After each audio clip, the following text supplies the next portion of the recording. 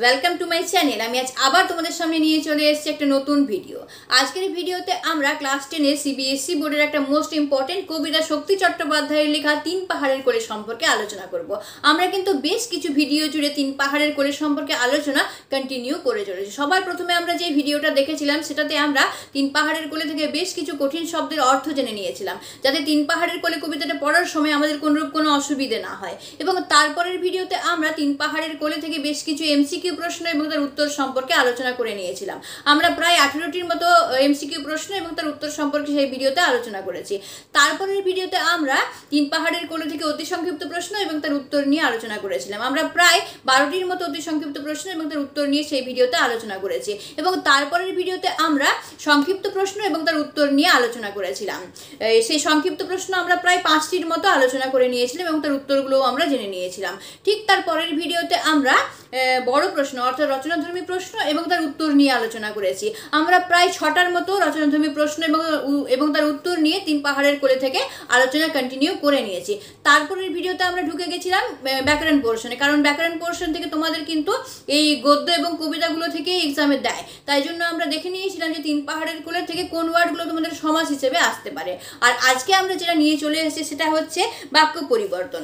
তাহলে তিন পাহাড়ের কোলে থেকে আমরা দেখিনি যে কোন সেন্টেন্সগুলো তোমাদের বাক্য পরিবর্তন হিসেবে আসতে পারে। তাহলে চলো আমরা ভিডিওটা শুরু করি এবং দেখে নিই যে তিন পাহাড়ের কোলে থেকে আমরা কোন বাক্যগুলো পাচ্ছি।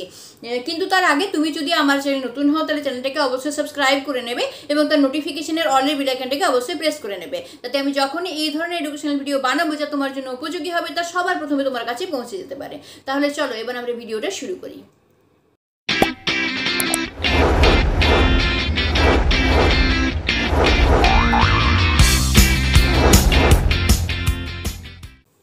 আশা করি তোমরা সকলে খাতা এবং পেন নিয়ে রেডি হয়ে গেছো এগুলো সমস্ত জিনিসকে নোট ডাউন করে নেওয়ার জন্য। তাহলে চলো আমরা দেখে নিই যে তিন পাহাড়ের কোলে থেকে আমরা কোন সেন্টেন্সগুলো পাচ্ছি তোমাদের বাক্য পরিবর্তনের জন্য। আমি কিন্তু সমস্ত জিনিসটা তোমাদেরকে স্ক্রিনে লাগিয়ে দেবো এবং তার সাথে সাথে আমি তোমাদেরকে সেগুলো বলে দেবো যাতে তোমাদের বুঝতে অসুবিধে না হয়, যাতে সহজেই তোমরা সেগুলোকে নোট ডাউন করে নিতে পারো। তাহলে চলো আমরা দেখে নিই এবার প্রথম বাক্যটা আমরা কি দেখতে পাচ্ছি।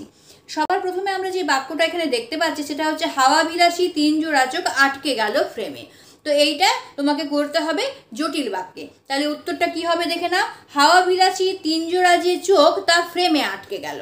তাহলে এইভাবে তোমাদের করতে হবে। নেক্সট সেন্টেন্স হচ্ছে, পূব আকাশে আস্তে ধীরে আলোর ঘোমটা খোলে। এটাও তোমাদেরকে জটিলে পরিবর্তন করতে হবে। তাহলে উত্তরটা কি হবে? পূব আকাশে আলোর যে ঘোমটা, তা আস্তে ধীরে খোলে।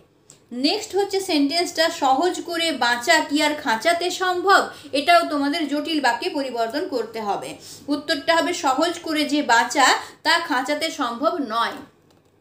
নেক্সট বাক্যটা হচ্ছে, এমন একটি দেশে এলে সকলে পথ হারায় এটাও তোমাদের জটিল বাক্যে পরিবর্তন করতে হবে। উত্তরটা কি হবে দেখে নাও। এমন একটি দেশে যারা আসে, তারা সকলেই পথ হারায়। তাহলে এই বাক্যগুলো হলো তোমাদের তিন পাহাড়ের কোলে থেকে বাক্য, যেগুলো তোমাদের বাক্য পরিবর্তন হিসেবে এক্সামে আসতে পারে। তাহলে এগুলোকে তোমরা ভালো করে নোট ডাউন করে নেবে এবং ভালোভাবে পড়ে নেবে যাতে এক্সামে তোমাদের কোনোরূপ কোনো অসুবিধে না হয়। তাহলে আজকের ভিডিওটা আমি এখানেই শেষ করছি। পরের ভিডিওতে নতুন কোনো টপিক নিয়ে আবার আবার তোমাদের সামনে হাজির হচ্ছি। ততক্ষণের জন্য বাই এবং ভিডিওটা দেখার জন্য তোমাদের অসংখ্য ধন্যবাদ।